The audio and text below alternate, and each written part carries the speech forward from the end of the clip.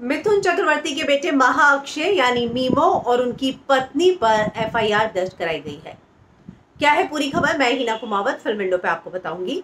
दरअसल एक युवती ने मुंबई के ओशिवारा पुलिस स्टेशन में मिथुन चक्रवर्ती के बेटे और मिथुन चक्रवर्ती की जो वाइफ है, योगिता बाली, उन पर एफआईआर दर्ज कराई है। उसका ये कहना है कि मिथुन के बेटे महाअक्षय ने उनके साथ बिना उनकी अनुमति के फ़िज़िकल रिलेशन बनाए और ज़बरदस्ती उनका एबॉर्शन कराया, उनको शादी का झांसा दिया और बाद में शादी नहीं की।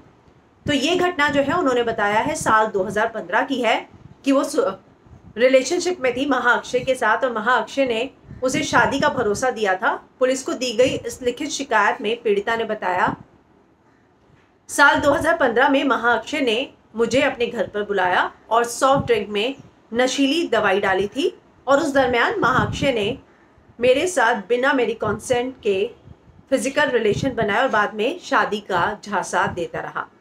उसका ये भी कहना है कि मैं वो जो है, मीमो के साथ चार साल तक रिलेशनशिप में थी और जब वो प्रेग्नेंट हुई तो महाअक्षय ने उस पर दबाव बनाया कि वो अबॉर्शन करा ले, लेकिन जब वो नहीं मानी तो उसको जो है पील्स दे दी गई, बिना उसको उसको पता नहीं था और उसको जो है अबॉर्शन पील्स देकर अबॉर्शन करवा दिया गया।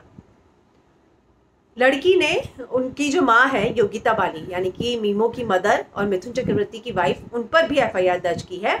पीड़िता के अनुसार महाअक्षय की शिकायत के बाद उसे धमकाया था और मामले को रफा दफ़ा करने के लिए कहा था और फिर दबाव भी बनाया था। जब मीमो की शादी होने वाली थी, जब उसकी खबर आई थी, तब भी इस युवती ने इस मामले में एफआईआर दर्ज कराने की कोशिश की थी, लेकिन जब पुलिस ने मामला दर्ज नहीं किया तो वो मुंबई छोड़कर दिल्ली शिफ्ट हो गई। अब उस युवती ने दिल्ली के रोहिणी कोर्ट में एक एफआईआर दर्ज करवाने के लिए अपील की थी, जिसके प्राइमा फेसी एविडेंस के आधार पर कोर्ट ने मामले में एफआईआर दर्ज करने और जाँच करने के आदेश दिए हैं। इसके बाद अब मुंबई के ओशिवारा पुलिस स्टेशन में इस मामले को दर्ज कर लिया गया है। देखना होगा कि अब इस पर क्या मिथुन परिवार का, मिथुन चक्रवर्ती परिवार का कोई बयान आता है या नहीं आता? मैं आपको बता दूँ, मीमो की शादी जो है साल 2018 सात जुलाई को हुई थी और उन्होंने अपनी गर्लफ्रेंड से शादी की। लेकिन अब जो है, ये मामला सामने आया है जिसमें एक युवती ने मीमो और मिथुन की पत्नी, यानी मीमो की मदर, योगिता बाली पर एफआईआर दर्ज कराई है। उसने बताया है कि ये सारी चीज़ें साल 2015 में उनके साथ हुई थी।